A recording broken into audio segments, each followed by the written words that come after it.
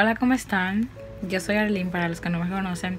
Yo estoy súper consciente de que todo el que de que hay mucha gente que me empezó a seguir por los mensajes motivacionales que yo ponía, que yo subía en videos.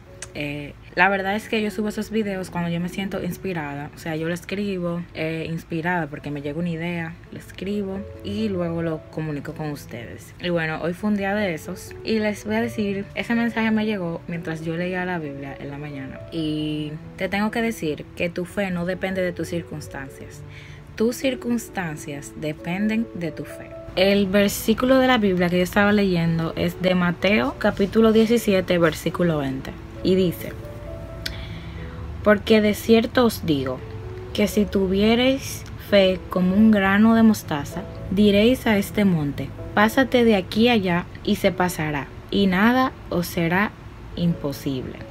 Eso explica muy bien lo que te acabo de decir, de que tu fe no depende de tus circunstancias. Tus circunstancias dependen de tu fe. Lo que quiere decir este versículo, a mi entender, es que la semilla de mostaza sabe lo que ella es, no le importa que ella es pequeña, porque cuando la siembren, ella va a crecer muy grande, va a brotar muy grande y no le importa porque eso está en sus genes. O sea, ella no le importa que ahora ella sea pequeña, porque ella ya sabe, con su fe, ella sabe que va a crecer muy grande. Lo que tú vives en este momento, como la semillita de mostaza, como somos tan pequeñitos todos nosotros, es por la fe que nosotros tenemos. Tus circunstancias dependen de la fe que tú tengas en este momento. Lo que tú vives en este momento son consecuencias de la fe que tú tienes. No puedes esperar a que Dios venga y te cumpla un milagro y ahí,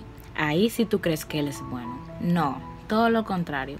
Tienes que tener fe de que a pesar de la situación que estamos viviendo en este momento, Dios está con nosotros, Dios está contigo. Ese era el mensaje que le tenía el día de hoy. Eso fue a mi entender de ese versículo de la Biblia, de que con fe todo es posible.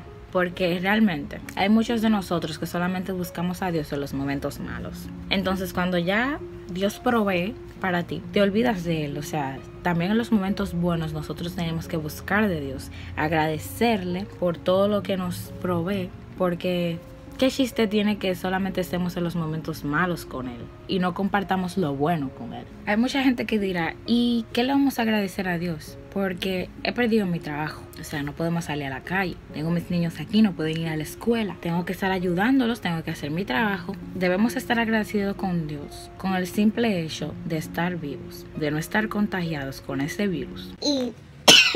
Perdón. Ahora uno no puede toser ni da porque de una vez creen, bueno, uno no quiere que piensen otra cosa. Uno debe de estar, ¿qué era lo que estaba diciendo? Que tenemos que estar agradecidos con el simple hecho de nosotros ver la luz del día, de que tenemos comida, tenemos techo, tenemos abrigo, eh, tenemos una cama donde dormir, tenemos nuestra familia sana y si no está sana, pues órale a Dios porque en ese momento es que Él quiere que tú te acerques a Él. Por eso tenemos que estar agradecidos. Y si tú no tienes nada de lo que yo acabo de mencionar, pues rézale como quiera porque Él va a proveer.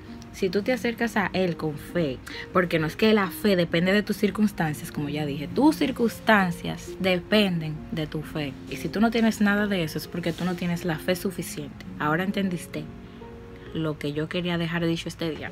Lo vuelvo y lo repito. Tu fe no depende de tus circunstancias. Tus circunstancias, o sea, tu situación de vida, dependen de tu fe.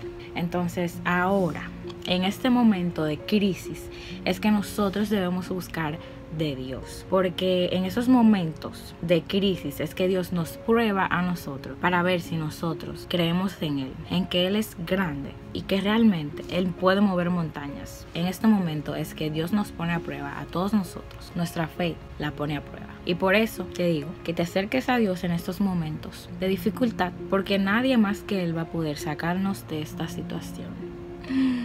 Amén y cuídate.